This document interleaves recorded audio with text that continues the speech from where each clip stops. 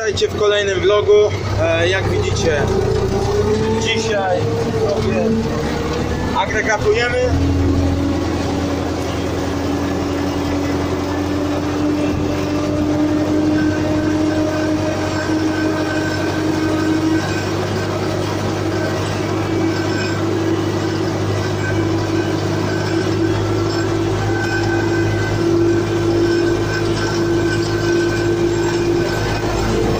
Dzisiaj sobie agregatujemy. E, no, soki niestety nie zdołałem e, całego vloga z tego względu, że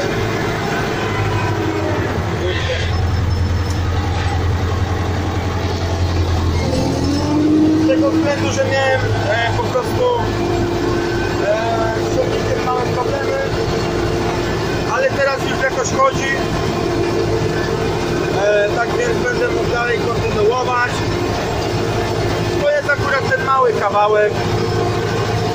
E, no i jutro najprawdopodobniej pojadę sobie tam na łąkę. E, no niestety musiałem wymienić e, pompkę zasilającą, bo po prostu e, no opiłki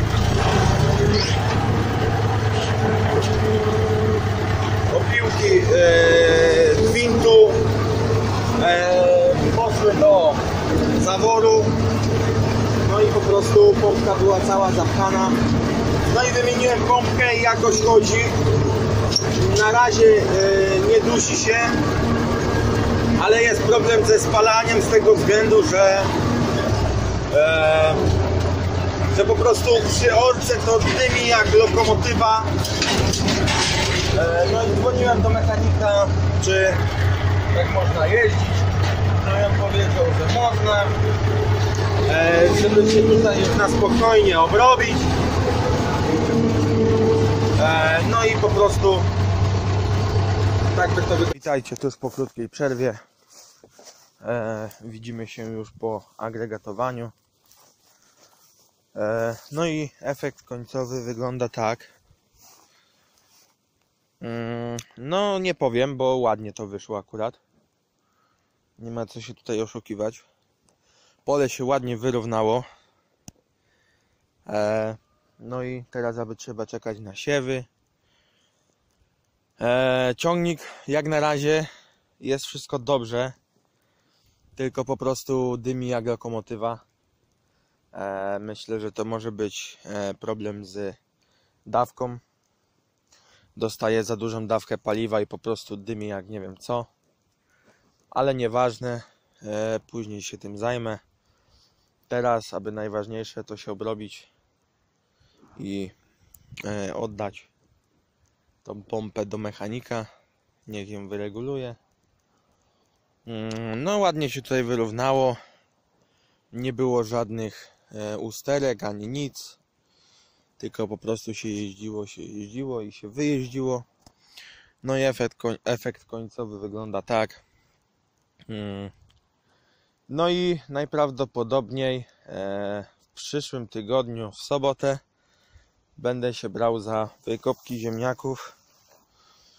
No bo nie będę tutaj czekał zbytnio, żeby e, te ziemniaki tutaj wykopać, bo nie ma na co z jednej strony z tego względu, że e, później jakby tak oczekiwać i oczekiwać, to później przyjdzie tak, że jest po prostu zapierdziel, że tak powiem. E, no i po prostu tu przyjdzie e, rozrzucanie obornika, tu orka, e, znowu bronowanie, agregatowanie, siewy i tak dalej, tak dalej. A ja chcę po prostu to wcześniej zrobić, żeby nie było takiego zapierdzielu później, bo tak przed żniwami właśnie zrobiłem i nie mogłem się wcale wyrobić, ale jakoś się tam wyrobiłem. No i tak by to wyglądało. No i za tydzień w sobotę będę e, e, powoli brał się za wykopki no bo ziemniaki już są dojrzałe same w sobie. Mm, Jeszcze aby trochę skórka się pogrubia. No ale to już e, szybko pójdzie. Mm. Miałem dzisiaj jechać akurat na łąkę tam, żeby ją zaorać, ale dałem sobie spokój. Z tego względu, no, że po prostu e, no nie chcę, żeby ciągnik po prostu stanął w środku pola i żeby później mieć jakiś problem czy coś, albo go zaholować do domu, albo nie. A jakby tutaj stanął, to po prostu nie ma żadnego problemu, bo jest blisko i nie będę musiał go nikogo e, fatygować, żeby mnie zaciągnął. E, no i na razie tam nie będę jechał, tylko tutaj się obrobię. Tu gdzie ważniejsze. E, dzisiaj będę jeszcze wywoził te kamienie, ten, tą kubkę, bo one przeszkadzają tutaj w budowie właśnie wiaty. E, no i mam już tutaj pewne plany co do tej wiaty. Tam będzie rozrzutnik, tu po środku będzie wóz, a tu będzie stał ciągnik. E, no i co by tutaj więcej powiedzieć? No musieliśmy niestety wzmocnić tą całą konstrukcję, zresztą jak widać, bo myśleliśmy, że wystarcza, wystarczą jak tu jest ta belka, tam jest belka, tam i tam.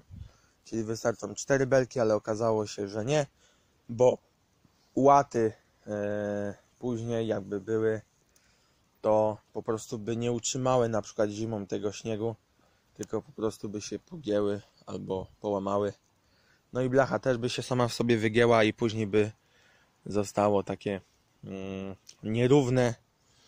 No a tak to jak jest wzmocnione to na spokojnie można sobie tutaj działać. No i teraz w sobotę będziemy się brali za e, przykręcanie ład i ewentualnie dach.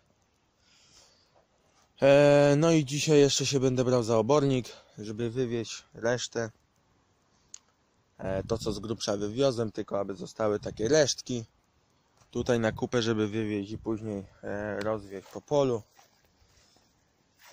E, no, jak na razie pług sobie tutaj stoi i nie będziemy tutaj nic więcej mówić.